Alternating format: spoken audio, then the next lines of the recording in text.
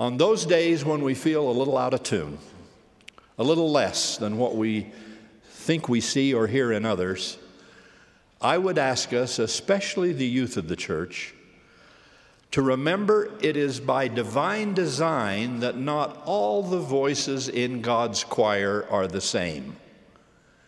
It takes variety, sopranos and altos, baritones and basses, to make rich music.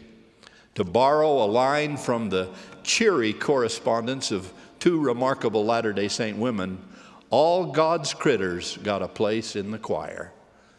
Now, this is not to say that everyone in this divine chorus can simply start shouting his or her own personal oratorio. Diversity is not cacophony, and choirs do require discipline. For our purpose today, Elder Hales, I would say discipleship. Believe in yourself and believe in Him.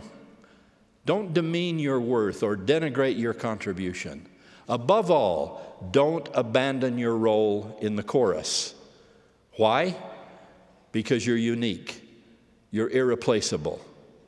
The loss of even one voice diminishes every other singer in this great mortal choir of ours.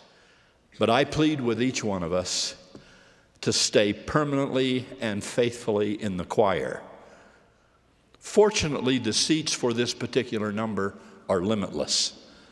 There is room for those who speak different languages, celebrate diverse cultures, and live in a host of locations. There's room for the single, the married, for large families, and for the childless. There is room for those who once had questions regarding their faith, and room for those who still do. There is room for those with differing sexual attractions.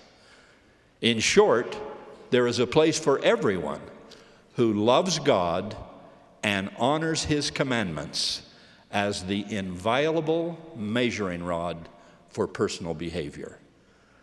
Come as you are, a loving Father says to each of us, but He adds, don't plan to stay as you are. We smile and remember that God is determined to make of us more than we thought we could be.